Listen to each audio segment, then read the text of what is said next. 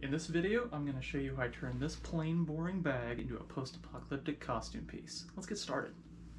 Alright, let me show you what kind of materials I got set aside for this. Let's see here. So I've got some canvas material from a pair of pants I set aside from another project. Um, I've also got some, looks like polyester, kind of green fabric here. It's really thin, so it's definitely not going to be like a structural component or anything like that. Um, I've also got these belts here. It's like an old leather or synthetic leather belt. I really like that buckle though. It's going to be a central part of it. Um, and then this military cargo belt here. Also got some suspenders it looks like. Everything here I've either salvaged from the garbage or I picked up at a yard sale or something, so nothing here is brand new with the intention of using for this project. It's all legitimate salvage. I found this hose clamp on the side of the road. I was taking a walk one day. This explains why it's all beat up. Uh, I found these in the trash. They're, uh, looks like some sort of a sensor. Pulled the wires that were in there out. Um, then I've got this. I found this at a secondhand store. It's, a, it's like an old grenade pouch. A leather baseball glove. Already cut a little bit out of it for another project. You'd be surprised how much crud is actually inside there, all the padding and stuff. Um, then I have this piece of metal I found. Might be an interesting component. I don't know if I'm going to use that or not. And then I've also got some different detail pieces that'll kind of come in towards the end. Got some keys, shell casings. It's like an old brooch or something. I'm not really sure what that is. If it's valuable, I'm sorry. uh, some wooden buttons. U.S. Army pin. These are some, looks like earrings? Yeah. Um, then I'm primarily going to be locking everything together with uh, nuts and bolts and zip ties because honestly I suck at sewing. When I learn to sew I'll put some of that kind of stuff in here but for now I'm just going to do it the easy way. Okay, so the first thing I need to do is I need to actually distress the fabric material making the, up the bag. So what we're going to do here is I'm going to take basic tools like a knife or a wire brush and I'm going to distress the edges. Now this is a functional item. I don't want to completely destroy it because I want to be able to carry things like my sketchbook and other, you know, whatever with me. So I don't want to completely destroy the bottom or the seams. I want to keep those intact. I'm definitely going to scratch up these metal parts here to make them look like they've been worn a little more than they are um, definitely around the top areas. Um, and then I'm also going to dry brush some different paint on there. I've got some brown acrylic here, and then might try this uh, multi-service premium antique wax. I'm not sure how well that's going to work. Uh, first, I'm going to test it inside the bag or on the bottom somewhere where you're not going to see it, just to kind of get an idea if it's going to work or not, because I don't want to go and paint the whole bag and then ruin it, so to say.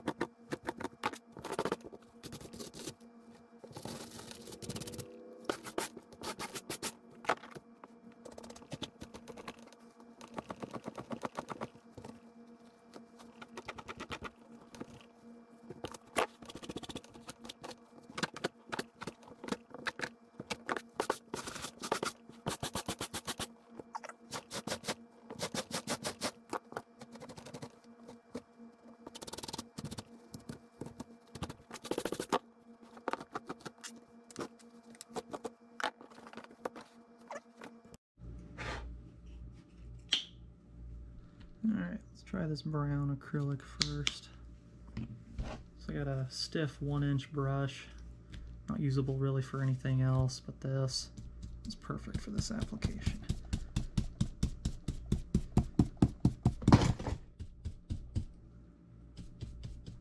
There we go, get most of that paint out of there. So let's try it right about here.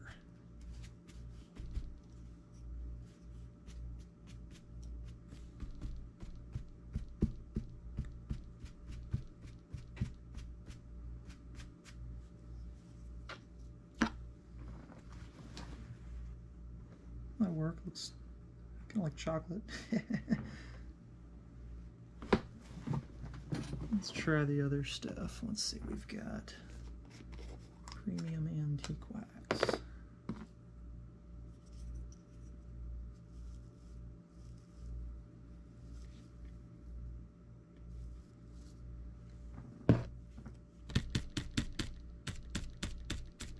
It's got more of a watery texture.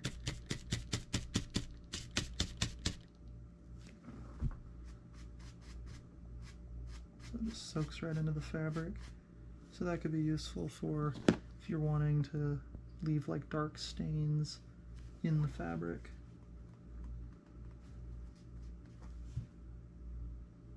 Let that dry and then come back and look at it later.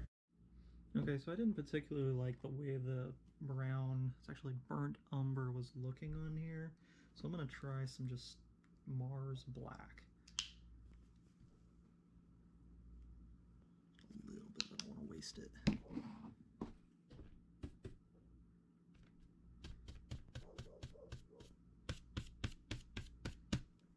All right.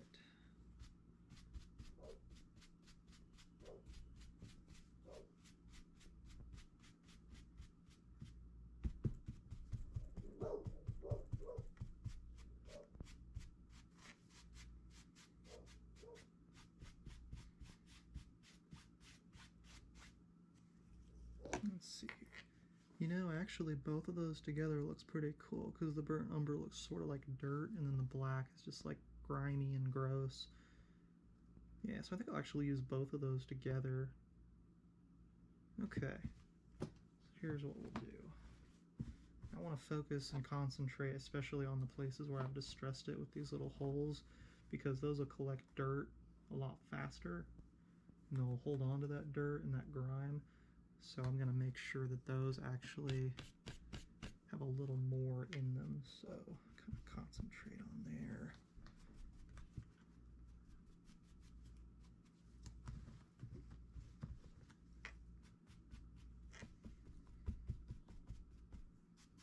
Really focus on the edges too, where everything's going to be collecting.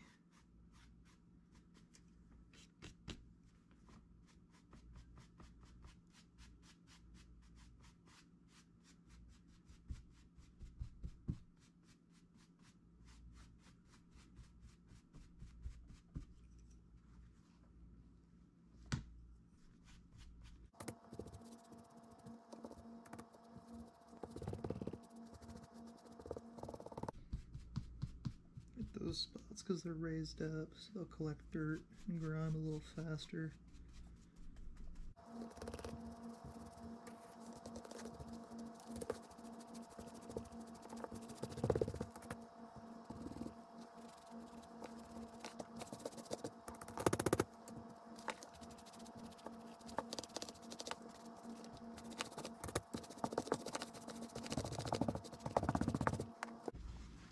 See the difference right away.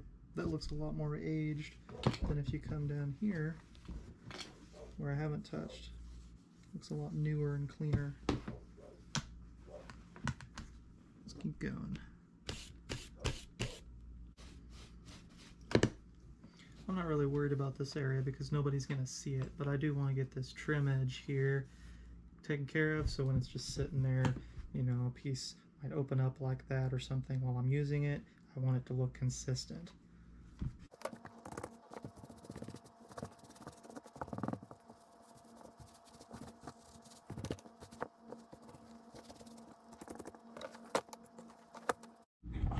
Okay, so this bag looks like it's been through a lot already. It's got some distress marks and then I've painted most of it with black. Now I'm going to put some more of the burnt sienna on there and add some dirt effects.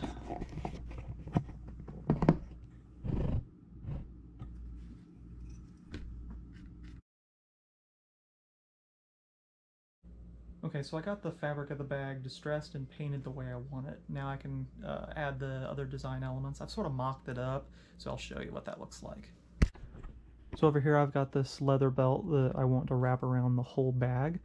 I've actually cut it in the middle, so I'm gonna fill this bag with stuff that I plan on putting in there to kind of get the relative size. That way I, when I attach it, it lands in the right spot and it doesn't actually hinder storage of the bag because right now it's laying down flat and it can expand to about three, three inches maybe, two and a half. So if I put it on there now while it's flat, it won't fit right. Um, and then I've taken this canvas fabric here and kind of wrapped it around the closure, the, the flap of the bag. And then I've also taken this military belt. And I'll use the military belt to kind of sandwich in these, uh, I don't know what these are, I don't know what you call them, let's call them tubes. These tubes in here actually uh, reminds me of Han Solo's costume from Star Wars. If you look closely at his jacket, you'll see something very similar to this. And actually, they're CO2 cartridges from like a BB gun or something. That was kind of neat when I noticed that. Um, and then I also plan on putting part of this baseball glove kind of down here. And you'll notice in here it's got some like stamps professional model, Johnny something, Wal Walther, Walter.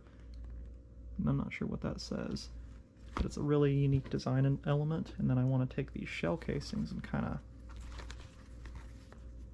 put them in there kind of like that. Might be a unique idea. Not sure if that'll work or not. Kind of mock it up and see. And then I also want to put this uh, pin somewhere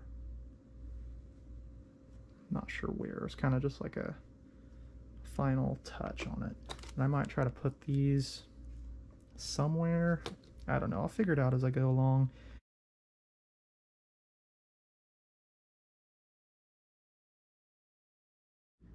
Okay, so unfortunately the bolts that I have are not long enough to go through both pieces of belt. So what I had to do was make six holes instead of two give it more structural integrity, and I'm going to use these black zip ties to improvise. Luckily, this is on the side of the bag that nobody will see when it's being used, so it won't affect the final construction or the appearance.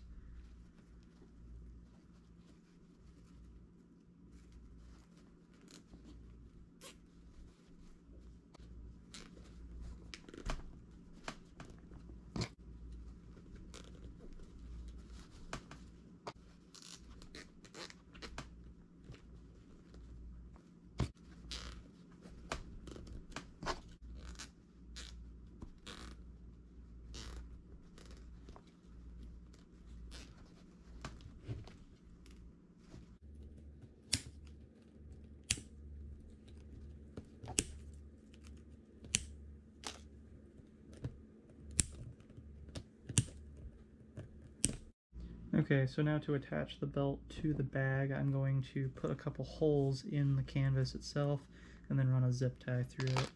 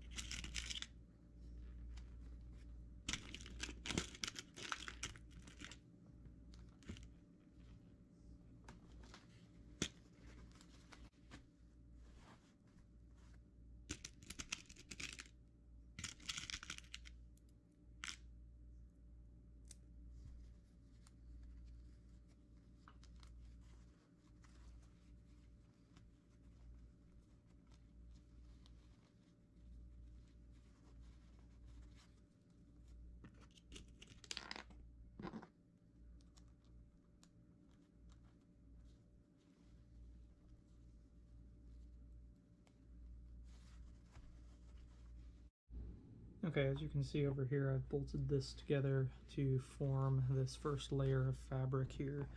So I'll give you a close-up.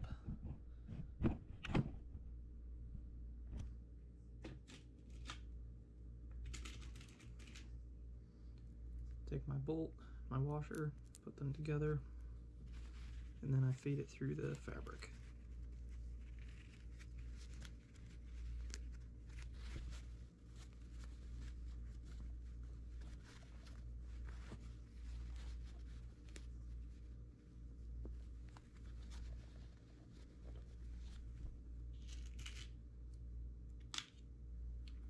Put a washer on the other side and a, a nut.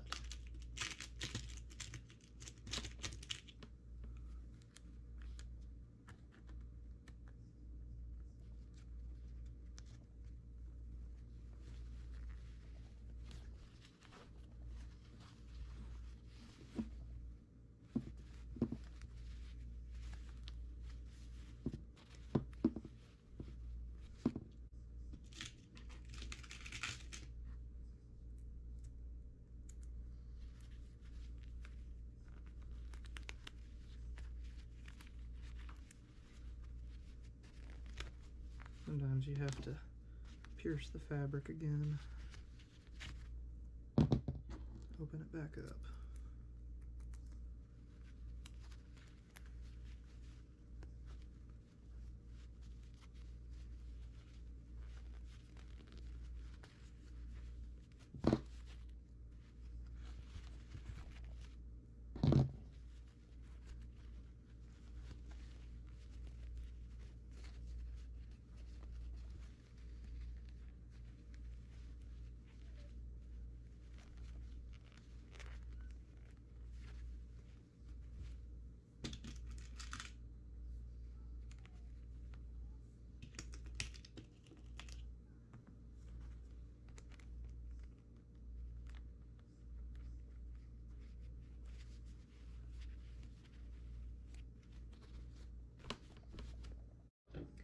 Alright, once I'm happy with where everything is at, I'm going to tighten it down with a socket and a screwdriver.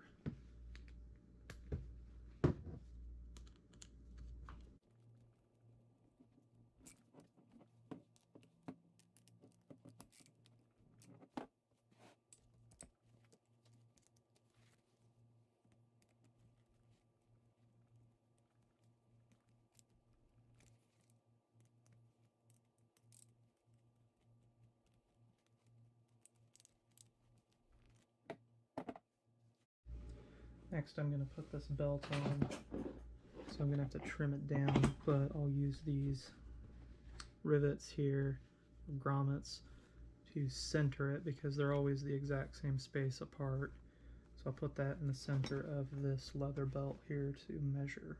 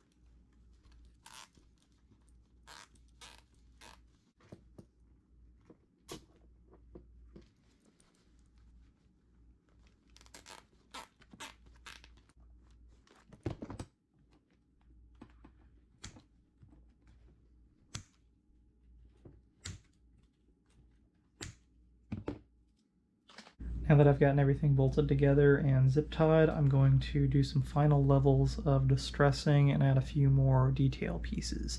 But I'm pretty proud of the way this turned out. It looks pretty cool.